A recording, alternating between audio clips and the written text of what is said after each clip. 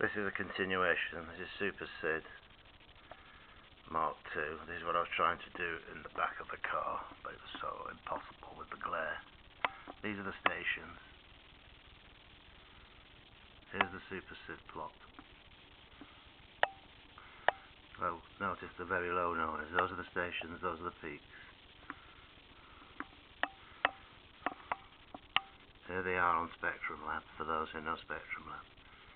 Super SID has been overlapped on Spectrum Lab. They don't come out clearly enough for people, here